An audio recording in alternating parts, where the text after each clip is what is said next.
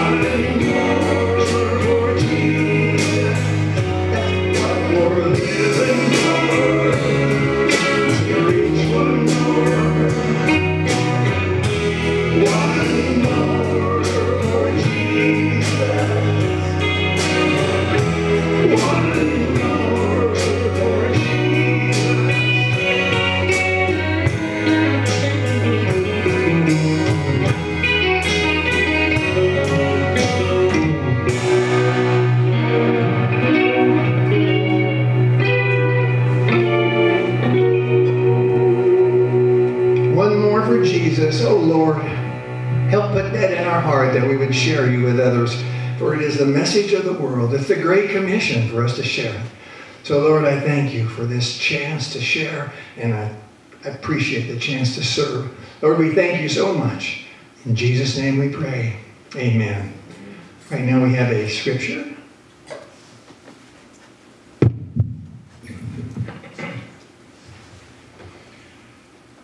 James chapter 4, verses 5 through 10. Do ye think that the scripture saith in vain, The spirit that dwelleth in us lusteth to envy? But he giveth more grace. Wherefore he saith, God resisteth the proud, but giveth grace unto the humble. Submit yourselves therefore to God. Resist the devil, and he will flee from you. Draw nigh to God, and he will draw nigh to you. Cleanse your hands, ye sinners, and purify your hearts, ye double minded. Be afflicted and mourn and weep. Let your laughter be turned to mourning and your joy to heaviness. Humble yourselves in the sight of the Lord, and he shall lift you up. James chapter 4, verses 5 through 10. Praise the Lord. We're going to be talking about pride and humility and things, kind of a carryover from last sermon. Next week, we're going to be talking about it's prayer time for America. And it'll be a heavy one on what's going on in America and things. But today we're talking about pride, and right now it's time for our giving, and we can have our usher come forward. Our ushers, thank you very much. And we're going to sing one more song, Be Lifted Up.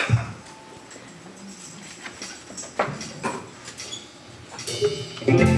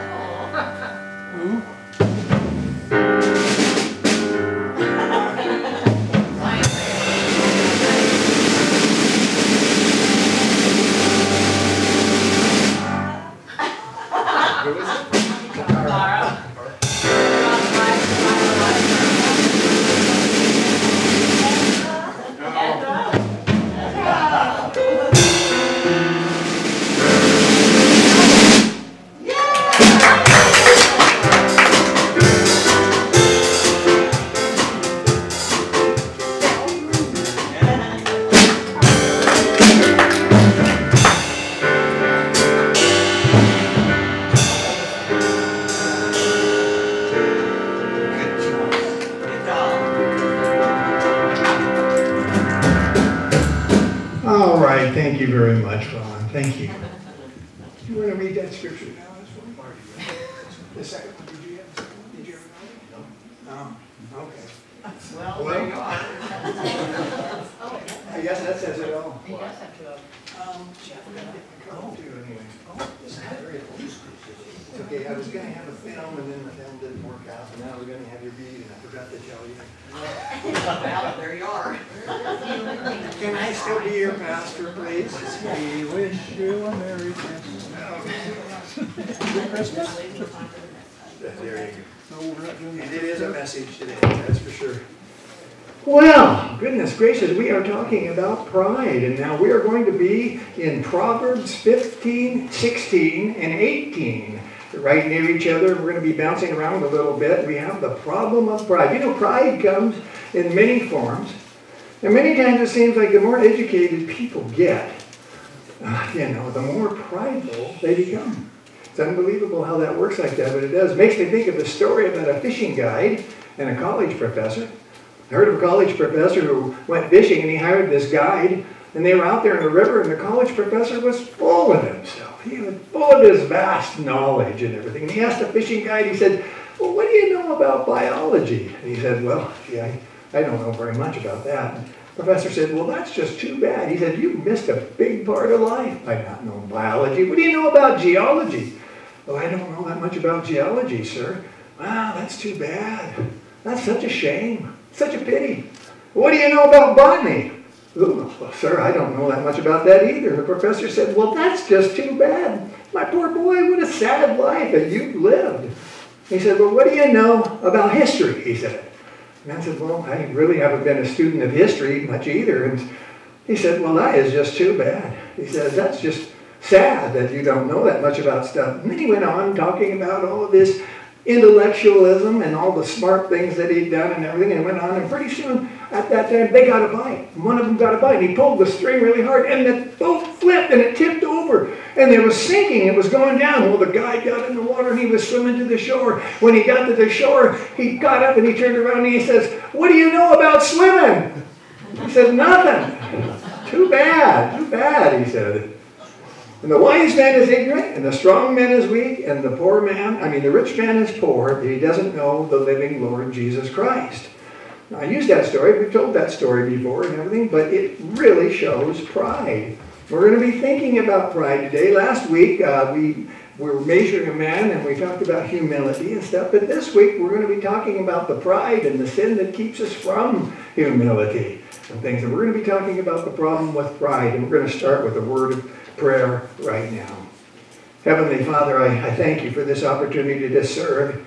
And Lord, I just pray that you would just uh, bless this message and anoint it and uh, touch the hearts of the people, Lord, and help them to grow and learn about ourselves and stuff and some of the things that you want us to know.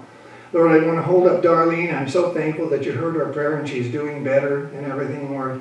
And I'm just thankful for that. And all others who are out and sick today or not with us and stuff, I pray that you would just bless them.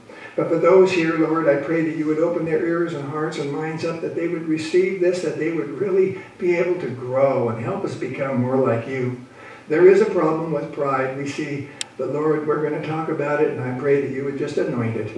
So, Lord, I turn it over to you right now. I thank you for everything you're doing, and we turn it over and ask for these things. In Jesus' name we pray. Amen. The problem with pride. Now, I want to ask you a question. How many of you have difficulty with the problem of pride? I want you to raise your hands. How many of you have a problem with pride? Okay, well, you know, um, I'm going to be talking to you, people that raise your hand. But not primarily. I'm going to be talking to all of you that didn't lift your hands. Because every single one of us wrestles with pride. And pride is a dangerous sin. I don't know of anything that would hold back revival more or ruin, damn our nations or blast our lives or do more to take the power out of our Christian lives and do more to populate and build a place called hell than the sin of pride. And I tell you, it is such a damaging, destroying sin. It is such a deceptive sin. You know, many people who are the proudest least admit that they are proud. Many people think that they don't need to hear a sermon on pride, and they say, well, my goodness, if there's one thing I don't need, and that's a sermon on pride. And as a matter of fact, they're quite proud of their humility, aren't they? And many of us have pride that is well hidden, but it is right there within. You know, one man said to another man as they were talking, he said, At least I have the one thing, there's one thing, I don't have the difficulty with the sin of pride. And his friend, well, why should you have any difficulty with pride? You haven't got anything to be proud of. I've got as much to be proud of as you. Well, you see, pride is there, incipient in all of us, truly. And what a deceitful sin it is. But we need to understand that pride is not. Now, we call many things today pride. We use the word pride to describe things that are not really pride. For example, a good self image is not pride. I mean, a self image is not pride. Pride is not having a good self image, or pride is not receiving honor. Those athletes are not necessarily proud in the bad sense of the word when they won a gold medal for the Olympics. And I mean, they all received that medal and had a sense of gratefulness and a sense of achievement. That's not the kind of pride that the Bible condemns, and we're going to see that in a moment. As a matter of fact, the Bible speaks of giving honor to whom honor is due. Now, I put up this one because immediately I see honor and Don put it up, 1 Timothy 5.17. I didn't put it on your outline, but I'd come across it, and it says to give double honor to elders especially to those who labor in the word and doctrine. So when the Bible says we are to honor someone, we know certainly it's not a sin to receive honor. For example, you're to honor your wife. Husbands are to honor their wives. The Bible teaches us plainly. And when a man says to his wife, honey, I'm proud of you, if he means it in the sense that I'm giving you honor, that's fine. Or the Bible says, for example, that a wife is to reverence her husband. And that's all right for you to give him a pat on the back and say, honey, I'm proud of you. And that's what most of us need. Because ultimately, a woman is to a man what a wind is to a fire. She can fan it up or she can blow it out. And we need to encourage us. We need wives to encourage us. It's clear that God gave them to us. And we see it's all right to encourage people. It's all right to say, I'm proud of you. And that's what sometimes our children need too. They need a pat on the back or encouragement and let them know that we're grateful for them. I heard about a couple that had been married for about 60 years and they were sitting around the front of the fire and he looked over to her and he had sort of a romantic twinge and she was hard of hearing and because of the years and he says, honey, I'm proud of you. And she said, what? He said, I'm proud of you. And she said, what? And he said, I'm proud of you. And she said, well, I'm tired of you too. but really, it's all right if you're proud of someone to say that you're proud of them. And when the Bible uses the term pride, it doesn't condemn a job well done. And truly, you ought to do your work with pride. If you sweep the floors, you ought to sweep the corners. And there's nothing wrong with in dressing that you dress nice. I mean, you're not humble because you go around looking like an unmade bed. That's not the sign of humility. That's a sign of sloppiness. Now, we are to be certainly take a certain amount of what the world calls pride and embrace it in the way that we work, in the way we dress, in the way that we do our job. And ultimately, that is just a healthy respect. And I want to say that not only does the Bible not condemn it, but the Bible literally encourages it to edify one another and encourage each other. Finally, I want to tell you what I'm talking about pride. I'm not talking about the self respect, I'm not talking about conscientiousness. And I'm not talking about giving and receiving honor that is due to be given or honor that is due to receive. So, what is the pride that the Bible so called condemns? I mean, what is bad pride? On your outline, number one, it is an attitude of independence from God. And it is saying, God, I don't need you, I can do it myself. Now, this attitude of independence from God is what the Bible calls pride. I keep thinking of that poem and stuff. You've heard it on the Dead Poets Society. I am the captain of my soul. I am the master of my fate. But I feel like saying, well, Captain, your ship is about to sink. However, there are many that feel that they're self-sufficient without God. You know them. You run into them. They don't need God, and their self-sufficiency, I mean that spirit of independency apart from God is what the Bible calls pride. And ultimately that independence results on your outline in a sense of ingratitude. What do you got to be grateful for? You did it all yourself, didn't you? Which is also one of the facets of pride. You see, when a person has a base of an ungrateful spirit, ultimately then that, that individual is proud, and it's because he does not acknowledge God who has given him all that he has. All good things come from God. The Bible calls the attitude of independence the attitude on your outline of ungratefulness. Now, this attitude of independence and ungratefulness is pride. And that attitude causes us, therefore, to measure ourselves on your outline by one another and to esteem ourselves by comparing with other people, comparing to see if we're better than someone else. And if we have that attitude again, all of this is a matter of pride. Now, let's see if we can narrow the focus just a little bit more. And right now, I want to give you some tests for pride, some indications for pride. Let me ask you a few questions. Number one, it's not on your outline. Does it irritate you when somebody corrects you for your faults? Does it bother you when people tell you that you're wrong or correct you? Number two, do you find yourself accepting praise for things over which really you have no control? I mean, for like natural abilities or natural gifts and things that God's given you and things that have, He's bestowed on you, and yet receive the praise unto yourself?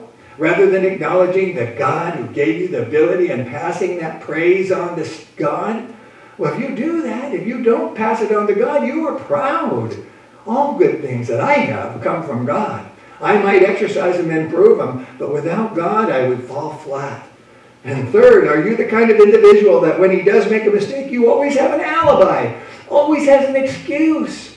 They never admit they're wrong, always justifying that mistake until finally they excuse that mistake. Do you do that? Well, that's pride.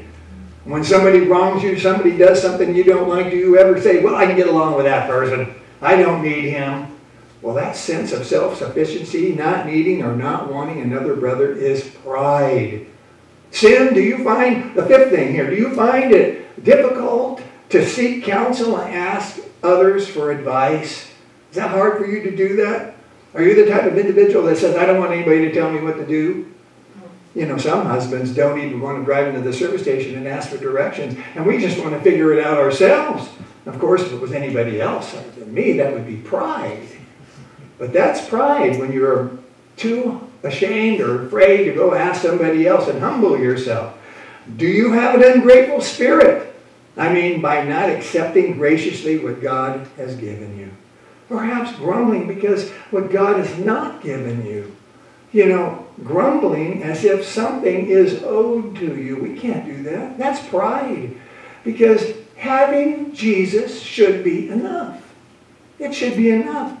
Seventh thing, final one, is your life a, a life that is marked with competition.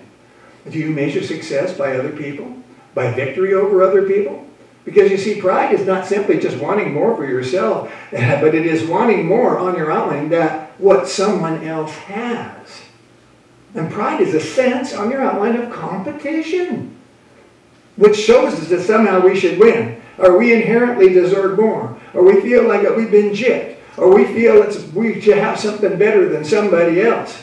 All of these things are indications of what I'm talking about, and it's that spirit of independence from God, it's that spirit of the lack of gratitude, and it's that spirit of competition that causes us to think of ourselves somehow better than others. And I tell you, that is the spirit that God hates. I want to talk to you about the peril of pride. I want you to look at Proverbs now, and I want to see five things in Proverbs, five points on what pride does. Then I want you to see how we can deal with the matter of pride. The first thing on the list the pride does is that pride provokes deity. And what I mean by that is that pride angers God. Let's look at Proverbs 6 16.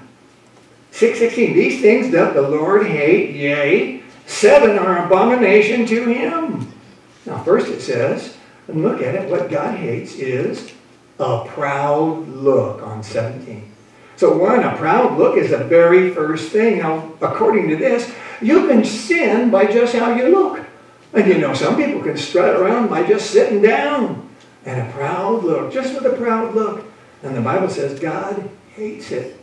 Well, let's turn to Proverbs 16. And by the way, we're going to go back and forth in these Proverbs today. In chapter 16, verse 5, it says, Everyone that is proud in heart is an abomination to the Lord. Though hand join in hand, he shall not be unpunished. Did you see that? He attests it and he will punish it. Because it says, everyone who is proud in their heart is an abomination to the Lord. Yeah, that's what we see, and wow, it's an abomination. That's something. God hates it. Well, why? Why does God have this great antipathy? I mean, this hatred. why does he have this for pride so much? Well, we have to back up. Here's why. It's because of what pride does.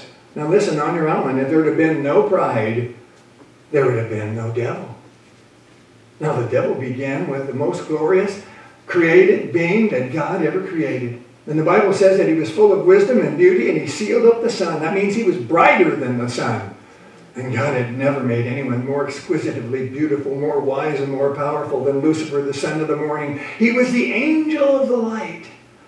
Now, the name Lucifer means light bearer on your outline, light bearer. And the Bible says in the book of Ezekiel that he was perfect in all of his ways, and that is until iniquity was found in him. And that iniquity was pride. And the Bible makes it clear that it was pride. You know, Paul talks about pride. He describes pride in 1 Timothy when he's talking about a new preacher or someone that would like to be a preacher. The Bible says, don't let him be a novice. That is a newcomer or someone without experience or someone who is not mature. Because the Bible says that if you do, he might be lifted up with pride and fall into condemnation of the devil. And the same thing can happen to him that happened to the devil. Because it was pride that made the devil the devil. Now, you know, the devil didn't really have very much experience on uh, going through a life like we do. He didn't need to get saved and find out how horrible sin was. He just immediately was accepting praise in a glorious atmosphere, and he immediately was a novice at it because he hadn't gone through the trials we have. That's the thing about making us saints. All the problems that we go through in the world, you know, and it says not to make a pastor, you know, too early in life because he's got no experience the problem of sin in the world and God's plan and knows how disciplined that you must be in order to go ahead and, and work for God. And the same thing happened to this man that would happen to the devil. And it was pride that corrupted the most glorious creature that was ever created. And not only was it pride that made the devil a devil, but also it was pride that ruined, on your outline, the human race. What was the bait on the hook that was the devil used when he seduced Eve? Now, she wouldn't have done that for a little piece of fruit. She had all the fruit in the garden. It was more than just that tantalizing taste of the fruit, because behind there, there was this tremendous pull, this tremendous pressure, and he appealed to her, and he put pride in your heart. And he told her, You will be like the Most High God. And if you eat it, you will be like God. And so you see, it was pride, therefore, that ruined the race. And it was because of that, it was pride that brought sin back into the world.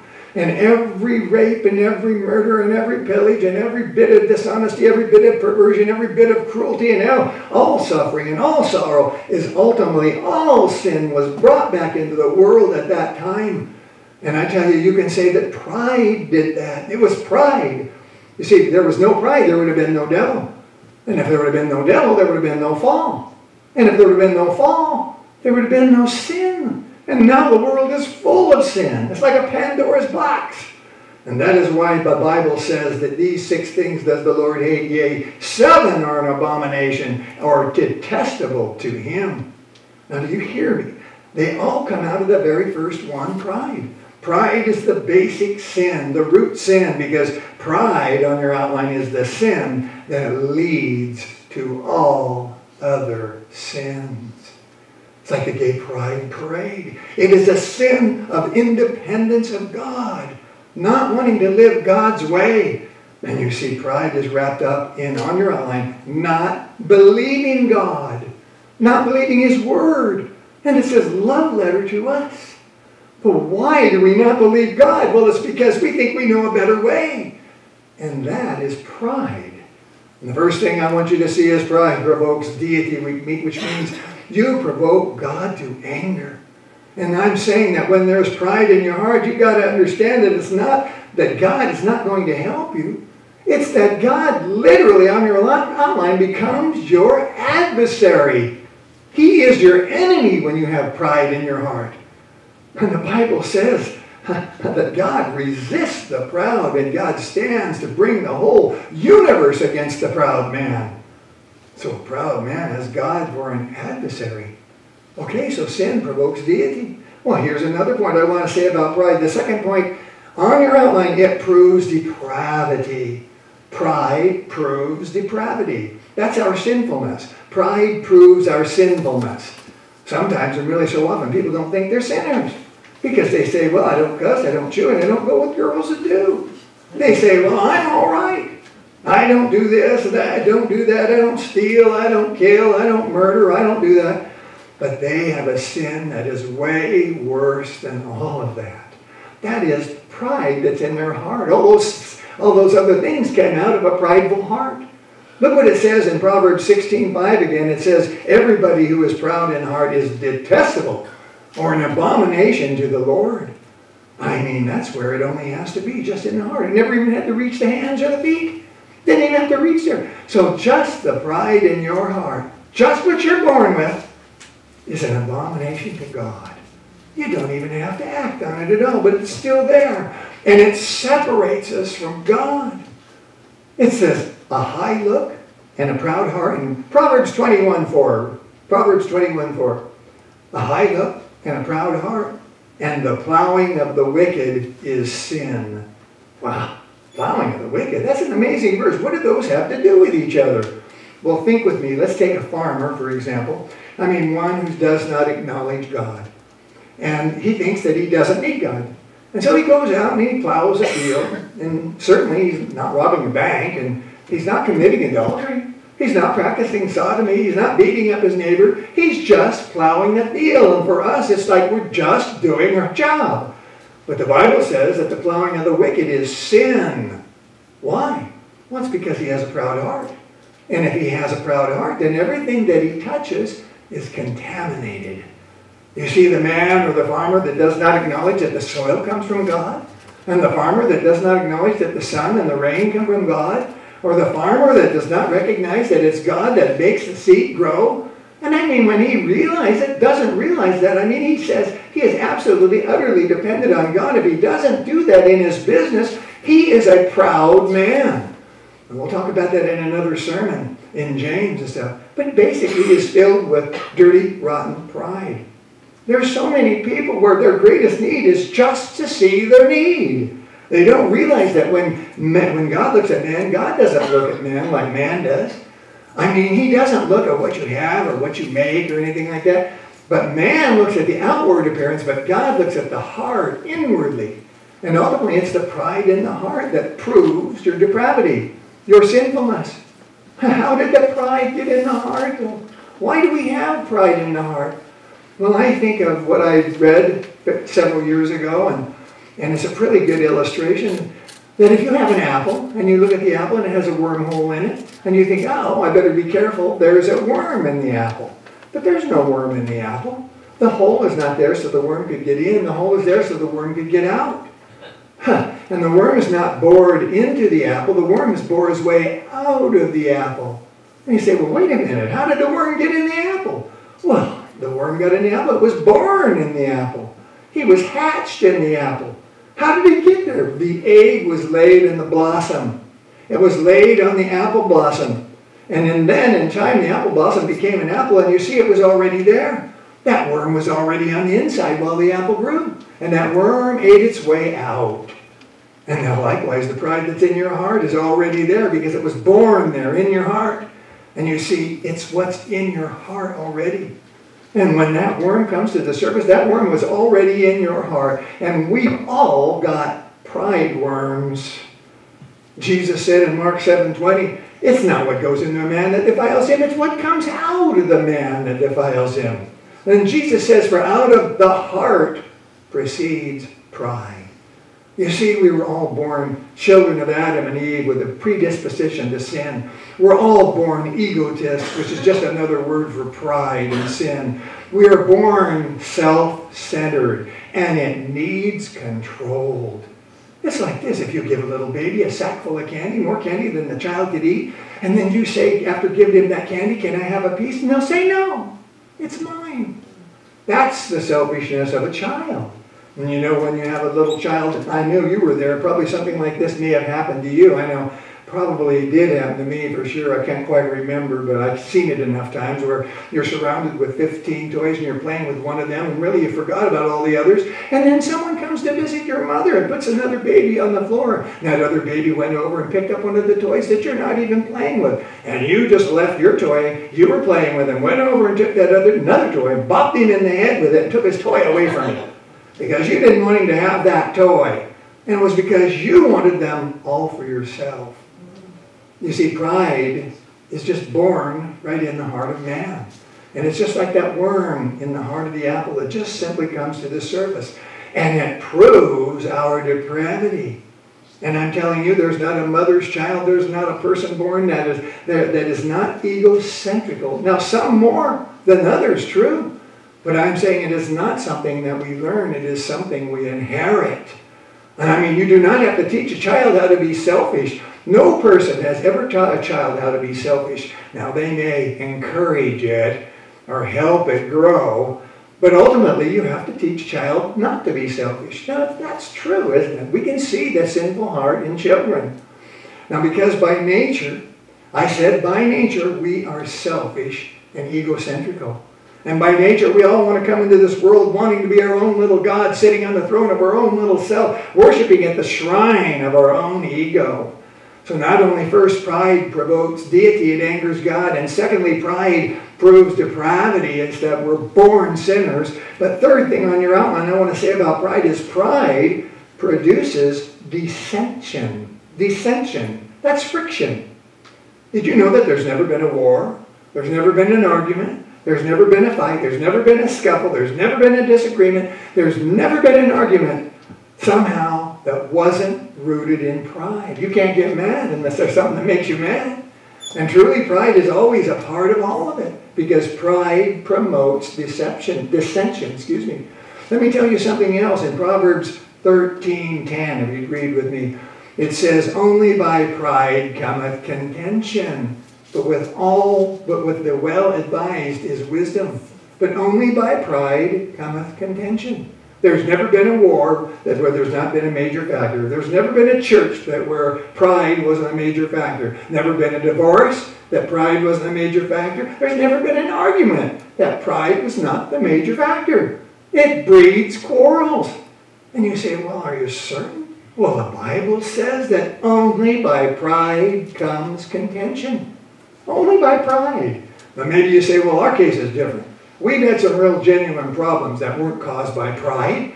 Well, listen, I'm not saying that you didn't have problems. I'm saying that the pride kept you or is keeping you from solving those problems. Because there's no problems too big to solve, only people too small to solve them. And the reason is that we have arguments as husband and wife is that we do not attack the problem. We get upset and attack each other. And it's ego against ego. And I tell you, only by pride comes contention. And those problems could be solved. They could. For example, what happens in a marriage, like when a boy and a girl decide to get married? Well, let's say, let's say that uh, Mary, we'll call her Mary, and the boy is James. And Mary hasn't given her heart to Christ, though, and she's unsaved. And remember, I said she's born e- egocentric. She's born uh, wanting to be the queen of her own little life. She sits on the throne of her own life. And there's James now.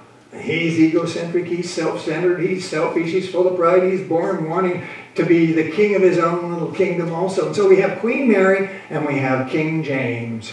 So we have Queen, Queen Mary and King James get married, and what happens? They move into a little house trailer, or they move into an apartment or a tiny house, or even a mansion, whatever. But now you've got two kingdoms under one roof. Remember what Jesus said, that a house divided is what? It cannot stand.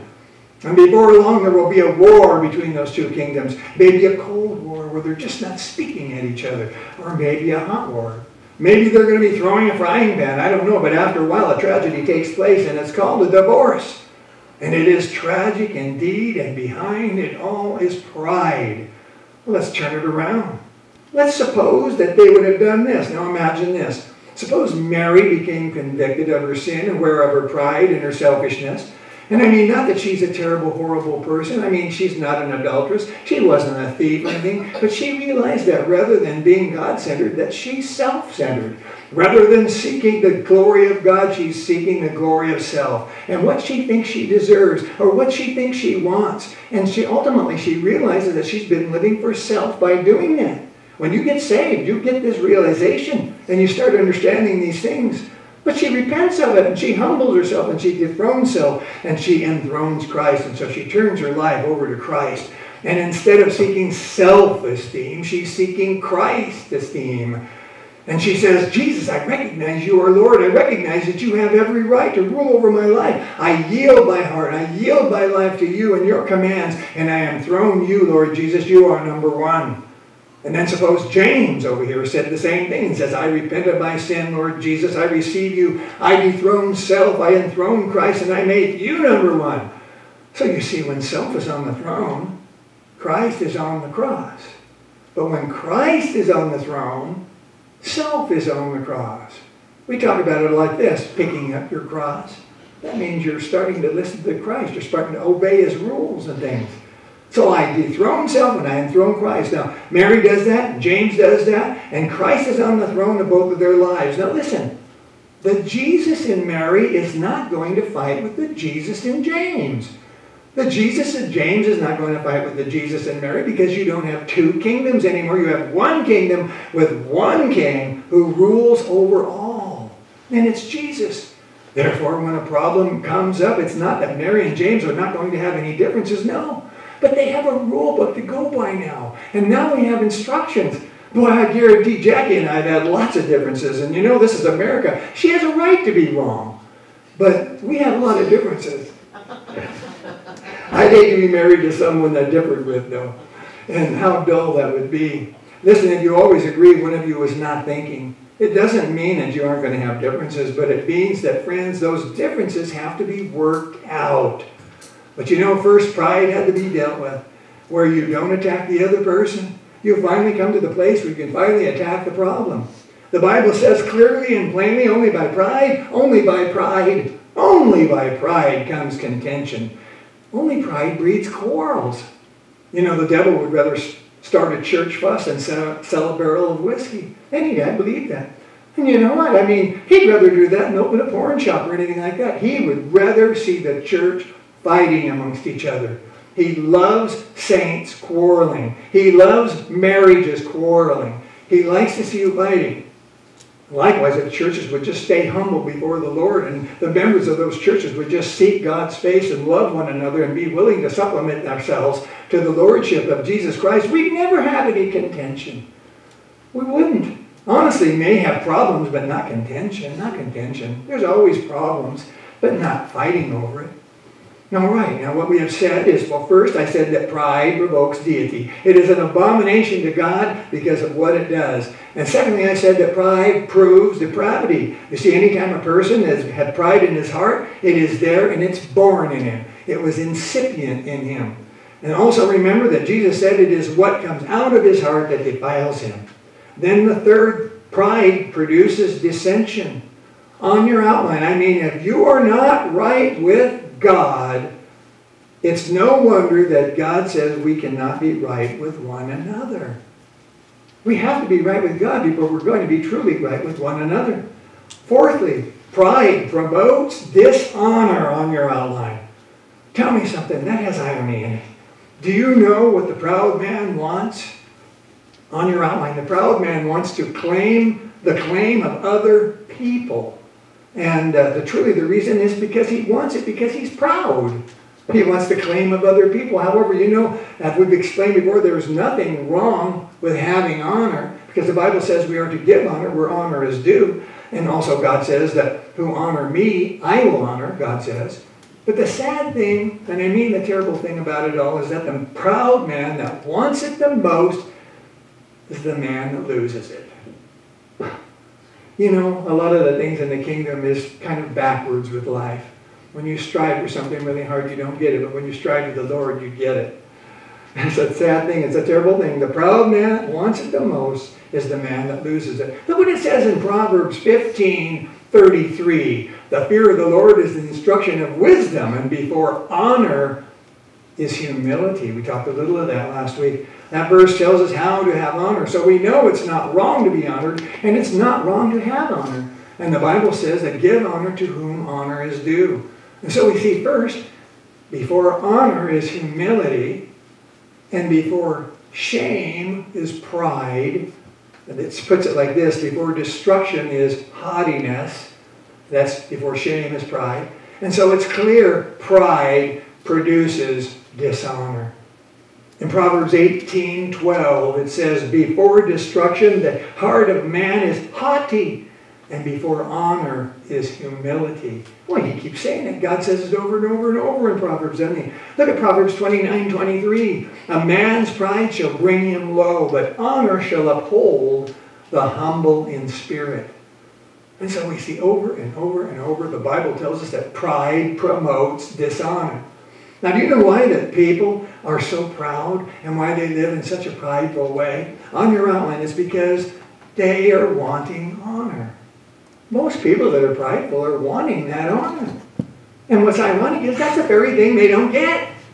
I mean, have you ever been around a conceited person? I mean, it's a person that reads with conceit. Well, I have. And you know, somebody said that conceit is a disease that makes everybody sick on your outline.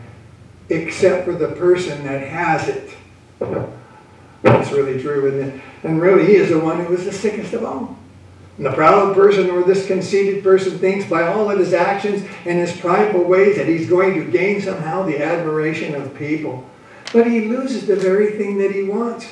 Because pride doesn't bring honor. On your outline, it brings shame. Pride promotes dishonor. Jesus said, Whosoever shall exalt himself shall be abased, but whosoever abases himself, the same shall be exalted. And ultimately, it's just simply a principle of life. Let me show you something. Here's a good illustration. Let's turn to Isaiah 14. And here, you don't have to, Don go there. God is asking a rhetorical question. And here's the question How did the devil become the devil? Let me read verse 12 of chapter 14. How art thou fallen from heaven, O Lucifer, son of the morning? How art thou cut down to the ground, which didst weaken the nations? In other words, he's saying, What happened to you, Lucifer, son of the morning? How art thou cut down to the ground that weakened the nations? And he's saying, What has happened to you? What has made you what you are? And then he answers the rhetorical question, but first, Satan's words. He still reviews Satan's words of 13 and 14. He says, For thou hast said in thine heart, I will ascend into heaven, I will exalt my throne above the stars of God. I will sit also upon the mount of the congregation in the sides of the north. I will ascend above the heights of the clouds. I will be like the Most High. And he says, I will, I will, I will. Five times I will be like the Most High. In other words, I'm too beautiful, I'm too wise, I'm too cunning, I'm too strong, I'm too mighty to be anything less than God. And I'm going to be like God. And you'll see some of these religions and stuff where they pretty soon make the people, the saints, like gods. I won't get into that now. But we see that there are some religions that want to turn ourselves into being a God. And we see that this is his downfall for Satan. He exalted himself and he had no humility. And he didn't even know the restraints because he didn't know anything about sin. Now listen, what was he seeking? He was seeking praise. He was seeking adoration. He was seeking adulation. He was seeking honor. He was seeking fame. And look what God says in verse 15 Yet thou shalt be brought down to hell, to the sides of the pit. That's another sermon, too. To the sides of the pit.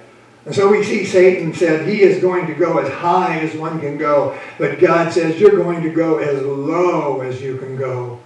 In verse 16 it says, They that see thee shall narrowly look upon thee. And it means they'll stare at you and they're going to ponder your fate. And it says they're going to look carefully on you. They know, we all know that Satan's going to be thrown in the lake of fire after the millennium, but in the millennium he's going to be tied to the sides of the pit so we can all look at him. And they'll stare at you and ponder your fate. They're going to scrutinize you. They're going to observe you carefully because of all that you've done. Verse 16 says, They look narrowly on thee and consider thee, saying, Is this the one that made the earth to tremble and to shake the nations? And verse 17 it says, Is this the one that made the world a wilderness and destroyed the cities of thereof that opened not the house of the prisoners? And I'm telling you, one day, that means he has people in bondage. And I'm telling you, one day in the ages to come, the devil is going to is going to be put on exhibit, and all the created hosts are going to come, and all the saints, or all the ages, they're going to see him. They're going to say, "Come on over here. I want to show you something. Look down there in that pit." Squirming like a worm in hot ashes, and he's in humiliation and shame, all because of pride. And being seen there in ignominious defeat will be the devil. Now, when you look at the devil, everyone is quaked about the devil these days because the devil has caused so much destruction and fear in the people. Look at the chaos that we have. The devil entices people to do these things and make these evil decisions against God. And there's a, there's a big thing where people are going against the will of God, and Satan is behind that whole thing. When you're looking at the people destroying things and not wondering what they have in their mind, they don't have to have anything other than their mind but taking orders from Satan wreck everything, destroy everything. Satan is out of chaos. That's what he wants chaos. When you look at the devil, everybody seems to be quaked at the devil, and their fear. The people are afraid of him. The devil strutted in all of his arrogance, but it doesn't last, and we're going to see the devil in his rebellion. And it's in the millennium when we see the devil down there in the pit. And what I'm saying is, when you see what's going to happen to him, you'll say, You mean that's the devil? I mean, that's him, and that's the one that made the nations tremble. And that thing down there, the lowest of lows, that's really him. And they'll say, yeah, that's him. You see, pride brings shame. Satan is humiliated when they stare at him and when they narrowly look upon him. So I want you to think with me before all that. Remember where Satan said, I will ascend. Well, look at the contrast because it was Jesus said, I will descend. That shows his humility. We submit to get ahead. You know, it's not like you need to go into God and then let him provide your needs. When you seek your needs yourself, you sometimes just don't seem to get them until you go that other direction. In Philippians 2, verses 5 through 7, um, I want to read to you his instructions for us because the Bible says, let this mind be in you that is also in Christ Jesus, who not who being found in the form of God, thought it not robbery to be equal with God. But he made himself of no reputation and took upon the form of a servant. Being found in the fashion of a servant, he humbled himself and became obedient unto death, even the death on the cross. Wherefore God also hath highly exalted him because of this, and given him a name that is above every name. And at the name of Jesus every knee shall bow and every tongue shall confess Jesus Christ is Lord to the glory of the Father. So he became humble and was given honor. When you become humble, that's when you will have honor bestowed on you. So now you have to make up your mind on which lifestyle you're going to follow. You can take the prideful way of the devil if you want to, but I'm telling you that way is down. You can take the way of Jesus Christ, which is the way of humility we talked about last week. It is true submission. And I'm telling you that way is up. Listen, pride promotes dishonor. You can strut now if you want to. Did you know most of the people in America are egomaniacs, strutting their way to hell, thinking that they're just too good to be damned? You ask so many people on the street if they're going to hell or not, they well, I don't think so. I've been pretty good. I never kicked a cat and I gave my kid money and I'm good. No. You have to submit. That's not it. Pride will bring you low and it always has and it always will. Pride, fifthly on your outline, precedes destruction. Look what it says in Proverbs 15, 22. It says this, Without counsel, purposes are disappointed. But in the multitude of counsels, counselors, they are established. So godly counsel is important for you. Look at chapter 16, verse 18. Pride goeth before destruction, and a haughty spirit before a fall. Pride will destroy you, and a haughty spirit is not needing God. You know, you don't go to God for your problems. You go to God after your problem. Look at Proverbs 18, 12. It says this. Before destruction, the heart of man is haughty, not needing God, prideful. And before honor is humility. What are all these verses telling us? Well, they're telling us that pride precedes destruction. But I tell you, it's not just that a man is going to be humiliated. It's not just that. He's ultimately going to be destroyed. Why? Well, I already told you, because God hates pride. God resists the proud. God sets himself in battle array against the proud. And if you don't take time for God, he's going to break your life up. And the people around you are going to watch it happen. For example, pride produces national ruin on your outline. You see, our nation will come to naught unless we repent. We have pride parades. And it's the repentance of humiliation that God is looking for. In 2 Chronicles 7.14, he says, If my people which would call me by my name, Christians they are, and humble themselves and pray, then I will hear their prayer and forgive them of their sin, and then I'm, I will heal their land. But also pride will produce on your outline domestic ruin. I mean homes. homes become battlegrounds because of pride. And then next to that, pride produces financial ruin. Also, if you don't tithe and stuff, your money will go. If you don't do what the Lord says and stuff, He's going to find an area and He's going to bring you down. And do you know why so many people are in financial bondage because of pride? Because they're buying things they don't really need, with money they don't really have to impress people they don't really like. So often we reason we get in trouble because the neighbors keep buying things we can't afford. Isn't that true? And we say, we want that too. And we try to keep up. So many So many people will want so many of these other things, they'll just quit tithing to get it. And so often it's wanting more than somebody else. And next, I want to show you pride on your outline produces emotional ruin. You know what pride will do? It will ruin you emotionally because it will make you a slave on your outline to the opinions of other people. It's like you've got to have that right alligator on your shirt. You got to have the right emblem sewn on your hip pocket of those jeans, that brand name. And I tell you, listen, it's a form of slavery, worrying about what others think. That will never be satisfied. And ultimately, it will ruin you emotionally. But last but not least, pride brings eternal ruin. Eternal ruin. Because I mean, that soul in the end is going to be destroyed in hell, and it's all because of pride. You know, Jesus told of two men that went up to the temple and prayed. One was a Pharisee and one was a publican. And the Pharisee was a self-righteous person. But his religion was only a cosmetic that covered a horrid, hateful, prideful heart. And he prayed. He said, Oh, Father, I thank you that I'm not like other men. I fast. I fast twice a week and I pay tithes on everything I possess. And he said, I'm not a thief. I'm not an extortioner like that man over there. And he pointed us over there at that Republican over there. Well, this collector, tax collector, he was down there on the floor.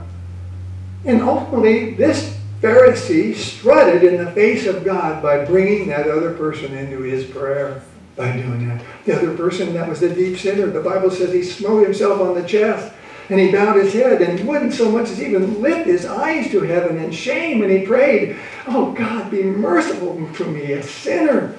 And he didn't say that. The Greek says, God, be merciful to me, the sinner, the sinner, the biggest sinner. And he recognized that he was a sinner of sinners, which evidenced he had a broken heart, a contrite heart. That's important when you come to God. Is your heart broken? Do you really mean it? And Jesus said, I tell you that this man, I mean the one that said, God be merciful to me, a sinner, is the one that went home justified rather than the other one. Two men went home from the church that day. One went home dignified, and the other one went home justified. One went home dignified and proud, and the other one went home justified and restored. And the devil is going to keep saying to you this, keep your dignity. Don't admit that your need for God. And he say, you'll never be saved anyway. Maybe, well, you might say, well, I'm not that bad, though. And I'm telling you that pride is not about that. It's a matter of the heart. And this man said that, Lord, I thank you that I'm not like other men are. And you see, he was comparing himself with other men. He should have had his eyes on the Lord, comparing to him. Because then that would have brought humility. Remember when Job saw the Lord, he says, I hate myself. I abhor myself. When Isaiah saw the Lord finally, he said, Woe unto me, I am unclean. I can't stand it. When Peter saw the Lord in his glory, he said, Depart from me, Lord, I am a sinful man. When Daniel came in front of the Lord, he said, My comeliness has turned into corruption. And you see, God causes humility before honor. He spoke with God. But what was it like before he spoke to God? Was flat on his face. And we sing these words, When I survey the wondrous cross at which the Prince of Glory died, my richest gain I count but loss, and pour contempt on all my pride. Stop comparing yourself with others. You compare yourself with the Lord Jesus Christ, and I tell you that will bring humility. And I want to tell you today that there are none so good that need not be saved, and there's none so bad that he cannot be saved. Did you hear that? There's none that's so bad that cannot be saved, but there is none so good that need not be saved. The devil says, don't go down there and commit to Christ. Don't start making commitments. Don't. You're going to make a fool of yourself. Don't admit that you have the need for God. Don't confess that you're a sinner. You're just as good as anybody else. You're going to look weak. Stonewall it. But I tell you, it is pride that precedes destruction and a haughty spirit, or those who do not seem like they need God, goes before a fall. You can mark my words. And so tell me, rather than admit your need to the Lord and rather humble yourself before the Lord, let me ask you, would you rather have spiritual destruction? Because I tell you, if you don't do anything to put some God thoughts in your mind, you're going to go down. You are going to go down. And when you get ready to die, you're going to be just like all the people that I have to minister to that don't have the Lord. They're scared to death. Only Christians aren't afraid. And you say, well, I'm just not that bad. I don't think I'm going to go into spiritual destruction. I tell you that if you were to take four billion people that are on the face of the earth and add them all together and that died since Adam and yet compound them by adding all the people that are going to come into being before the end of time, before the end, and you take all of them and put every one of them together, all of their goodness, and put it all in one place and extract from every one of those individuals the very best attributes from each one of those individuals and take all those attributes and put them in one man, that man would still have to kneel and pray and say, God, be merciful to me. I am a sinner. Do you know that? All of mankind is contaminated, and the only chosen ones are the ones that choose Jesus. I tell you, the worst form of badness is human goodness when the human goodness becomes a substitute for the new birth. And listen, the reason that some people are destroyed forever is because of pride. They think they're okay. I've watched people and I've seen where pride sits down in the seat right beside a person and they and it says, Don't admit your need. This will be over pretty soon. Just wait. We'll be out of here. Don't confess that you need the Lord. And I'm telling you, dear friends, that God resists the proud, and you will be his adversary. That means enemy. Because all those that have not received Jesus Christ, that makes God so mad. He died for you, and you won't accept him? That means you're his enemy. You must accept Jesus died for you. And I'm telling you, God resists the proud, but remember, on your outline, he gives grace to the humble and you need him. Oh, I tell you what we need today is God's grace because remember, pride precedes destruction. I tell you, God is going to come back and punish the world.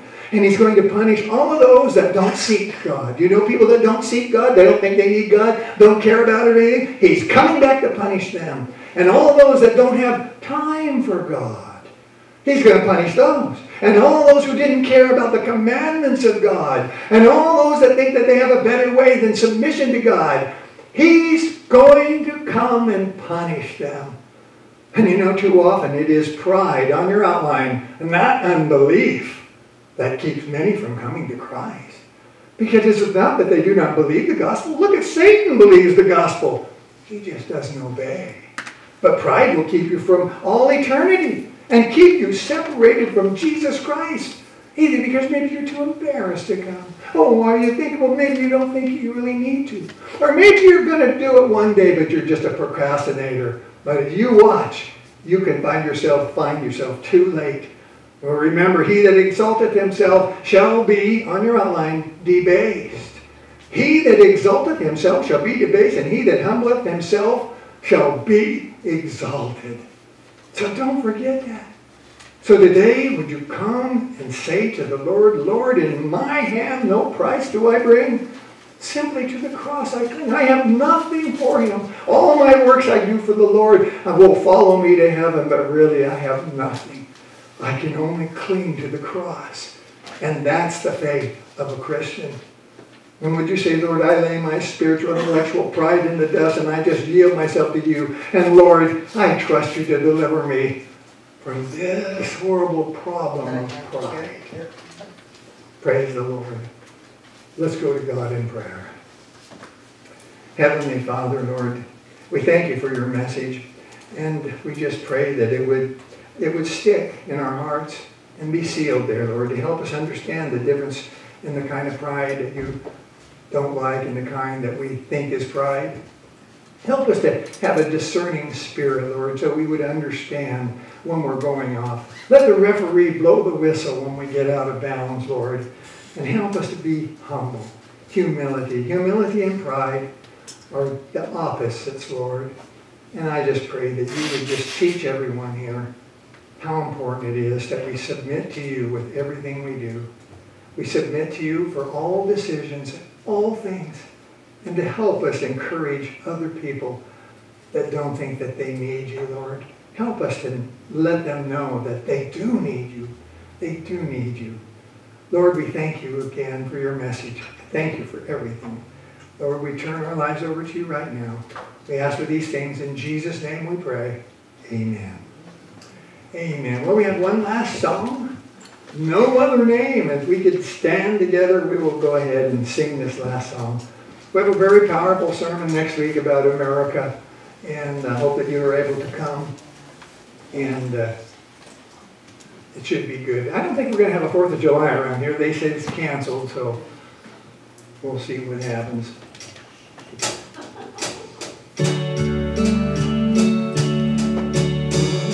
Here we go. No other name but the name of Jesus. No other